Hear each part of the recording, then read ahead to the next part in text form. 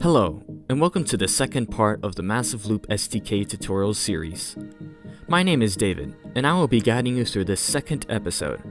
Previously, we demonstrated how to install, set up the Massive Loop SDK, and upload your first world to the metaverse. In this tutorial, we'll go over the core Unity features that we can use to take our world to the next level, without any Lua scripting. We will also be detailing what features are supported in a Massive Loop. Before we begin, it's important to note that if there are any questions during this tutorial, you can visit our Discord community server and ask in developer channels for help. With that out of the way, let's get started. Unity has a terrain system implemented that allows you to create many different kinds of landscapes. You can also add many other details on the terrain like trees, rocks, or different materials. The terrain system is fully supported inside of Massive Loop. Physics allows objects within your world to be controlled by physical forces. Unity has support for many different kinds of physics systems, from joints to physics materials and collider types. This system is fully supported inside of Massive Loop, and the scripting API is fully implemented in the Massive Loop SDK.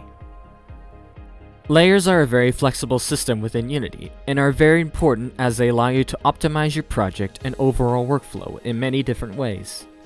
In a Massive Loop, there are specifically defined layers dedicated to controlling how objects interact with each other. They can be used to indicate whether an item is a UI element, a volume for post-processing, or setting climbable layers to certain objects to give players more ways to move through your environment. It is important to use these layers properly. Layers 21 to 31 are reserved as user-defined layers. These layers can be used for your own purposes. Unity has an advanced particle system that can be utilized in a number of different ways to achieve a variety of graphical effects. This particle system is fully supported in the Massive Loop SDK.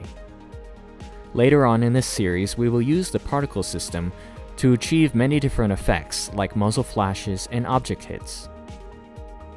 Audio sources can be used to play many different sounds in your scene, and they can also support different filters and effects. They can also be controlled by audio mixer groups, which allow you to categorize certain audio sources together and adjust their volume. You can use Massive Loop's predefined audio mixer group, provided with the SDK, to put sounds in their respective groups such as background music or sound effects. Assigning the Massive Loop mixer to an audio source means that these sounds can all be controlled in-game through the settings menu. We will also be using the audio scripting API later for playing sounds during scripted events and interactions. The Unity animation system can be used to add movement to your world. These animations can be as simple as translational object movements or they can be as complex as fully realized character animations. This animation system is supported inside of Massive Loop, and the scripting API is fully implemented, which we will be using to play animations on objects during interactions. The Unity Timeline Sequencing System is a simple but powerful tool that allows you to create complex sequences by blending many of the different core features we discussed, plus much more. Once again, this system is also supported in Massive Loop along with the scripting API.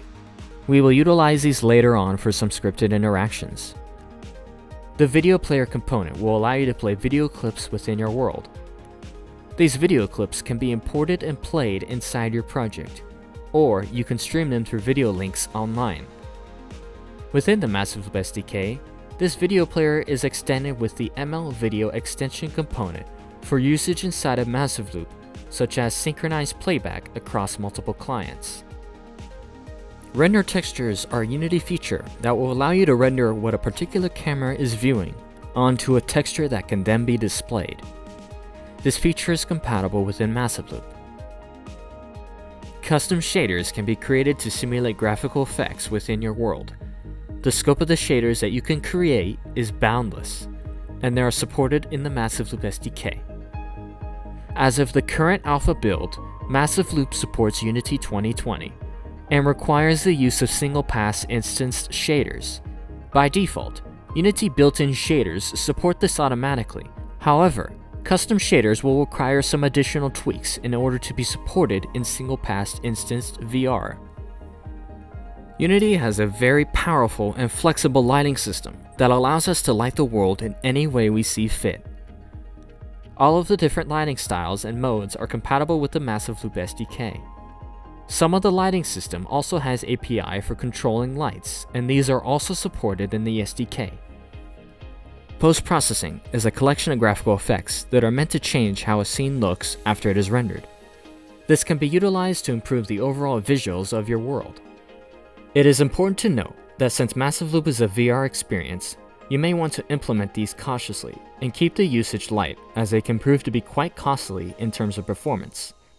For example, avoid using ambient occlusion as it is not supported in single pass instance VR and it is also very expensive.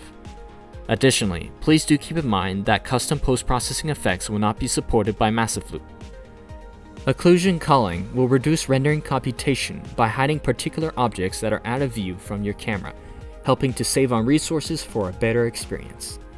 This system is fully supported within Massive Loop, because the Massive Loop SDK is Lua only, Unity's native C-sharp scripting is not supported at runtime for worlds.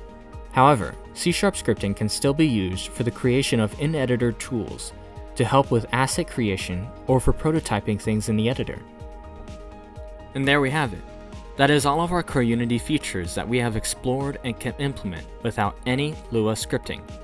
In our next tutorial, we will come back to start leveraging the Massive Loop SDK features and components such as SDK Grab, the ML Synchronizer, portals, and much more. We will see you in the next tutorial.